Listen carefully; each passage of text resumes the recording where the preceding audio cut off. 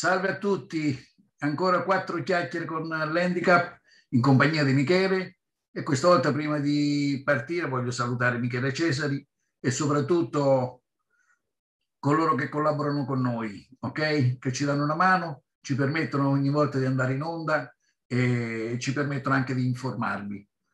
Grazie a tutta la redazione e comincerei. Oggi voglio parlarvi di un progetto nato in regione io perlomeno sono entrato in questo progetto nel 2012.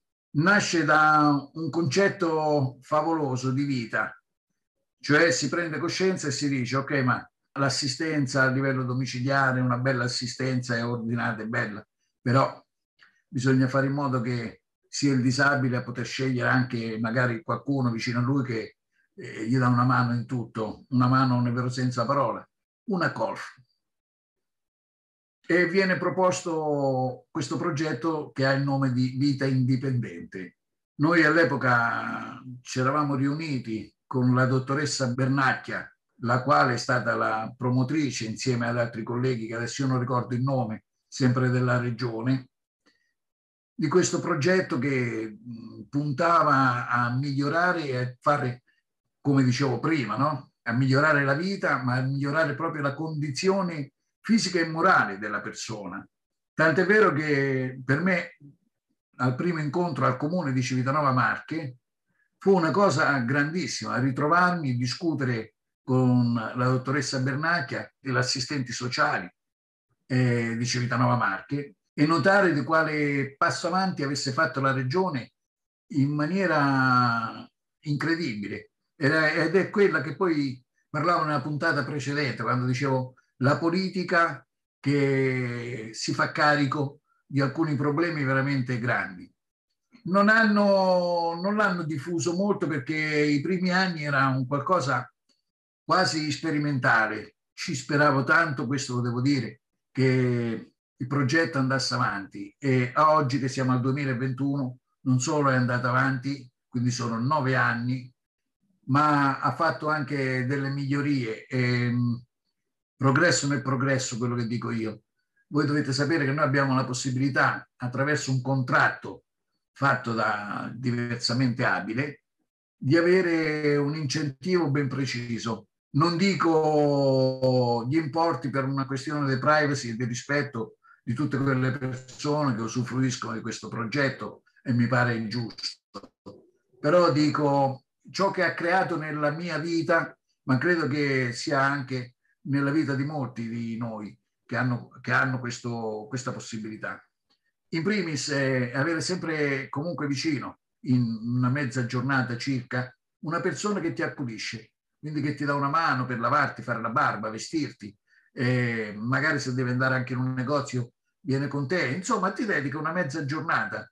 Non è una moglie, non è nemmeno un assistente, non so come dirvi, è una bellissima autonomia che ci ha reso la regione con questo progetto meraviglioso, questo progetto che va a, a liberare la coscienza di noi diversamente abili e farci diventare protagonisti di noi stessi. Cioè abbiamo la possibilità di scegliere la persona che più eh, ci aggrada per quello che riguarda la pulizia, per quello che riguarda tutto ciò che è il personale, non fate i birbi che capite cose che non dovete capire, eh? parlo sempre di assistenza. Mi raccomando, è un'assistenza scelta da noi, perché vedete, se c'è una cosa che io ho notato spesso, per quanto noi abbiamo dei servizi bellissimi, abbiamo degli assistenti domiciliari, che i comuni, gli assistenti sociali si impegnano attraverso delle cooperative che fanno un gran bel lavoro. Però che succede? Che se io ho bisogno di un assistente e mi viene una ragazza faccio un nome qualsiasi che non, ha, non è un nome reale, ma che si chiama Marilena. E con questa ragazza io ci, comincio a costruirci, anche se magari solo per tre ore, un rapporto, un rapporto che è quello che eh, ti fa compagnia per un paio d'ore, se c'è bisogno ti cambia, se ti deve lavare ti lava. Eh, quelle che sono le mansioni che, di cui ha bisogno una persona, per esempio, che sta in carrozzina tante volte che non può muovere le braccia è tutto ok perché vedete quelle persone quando cominciano a cambiarti fanno parte della tua intimità quindi ti cambiano il pannolone ti, ti fanno star pulito ordinato e tu ti ci abitui. E diventa come fosse una madre, una sorella, interpretate come volete voi. Però pensate che magari si ammala un assistente che fa delle ore ad un altro diversamente abile. E a quel punto deve sostituire. E magari sposta la mia, la manda lì e a me me ne dà un'altra per qualche, qualsiasi motivo.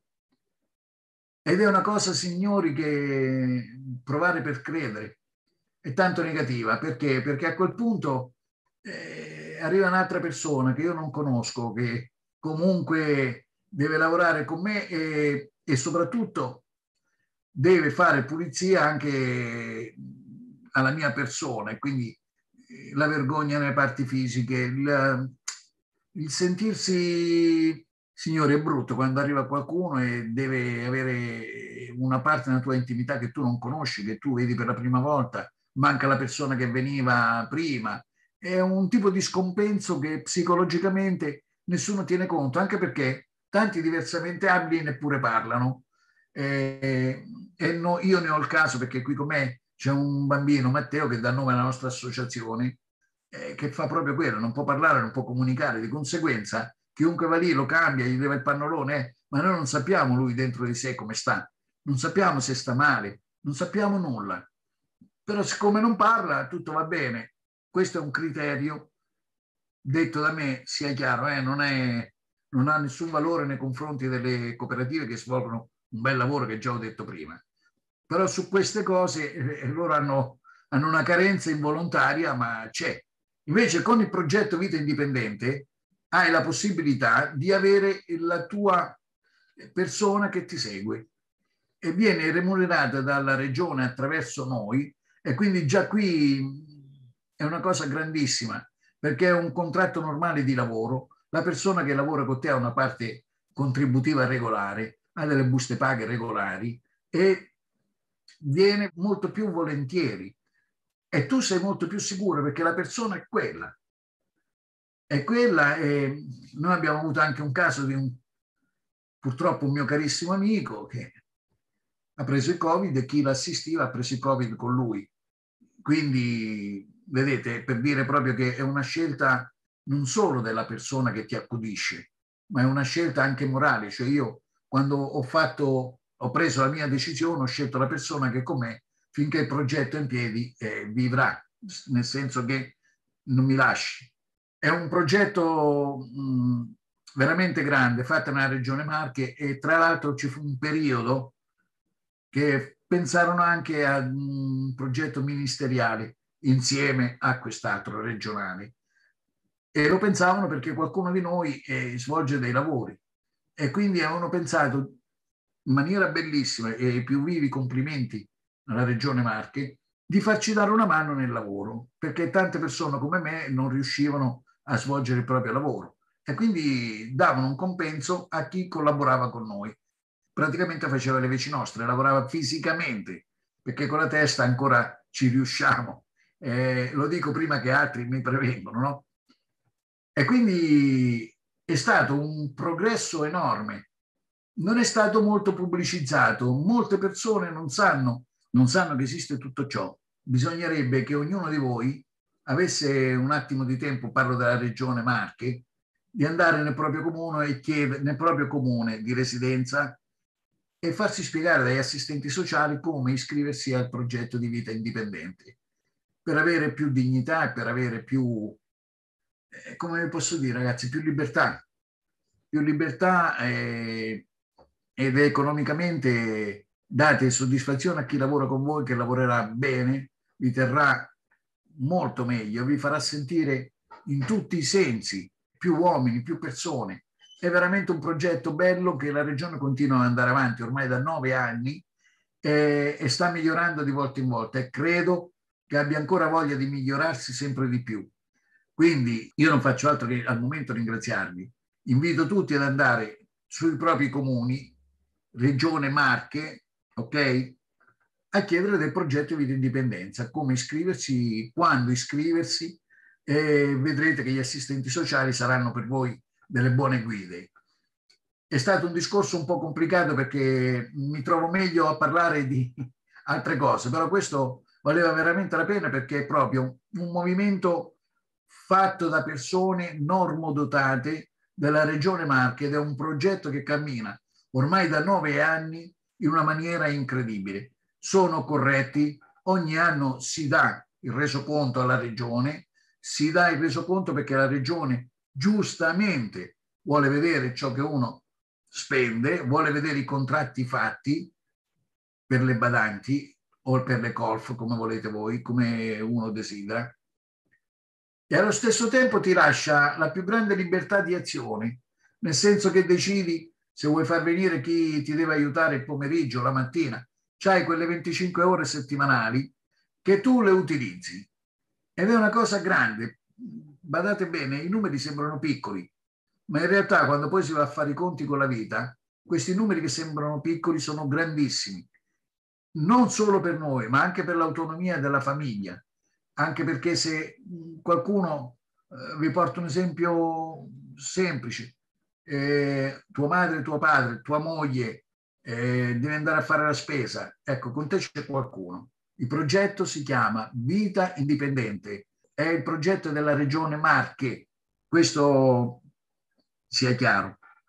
Tutti quelli della regione Marche che ancora non usufruiscono vadano nei propri uffici, nei propri comuni, scusate, di residenza presso l'ufficio degli assistenti sociali e chiedete, o dell'ambito, anche loro sanno come funziona, chiedete informazioni per iscrivervi e certo adesso non so se sarà proprio per tutti tutti, però intanto provate a fare domanda, provate a iscrivervi perché se ciò si avvera avrete un sogno di autonomia e di libertà e soprattutto avrete un sogno dove finalmente i politici hanno pensato a una parte più debole di società.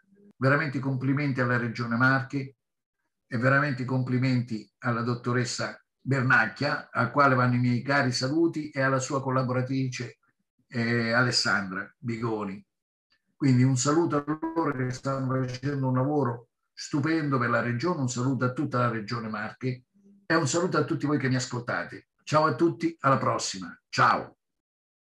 Ringraziamo i nostri spettatori per il tempo che ci hanno concesso e vi invitiamo a continuare a seguirci sui nostri canali Facebook e YouTube.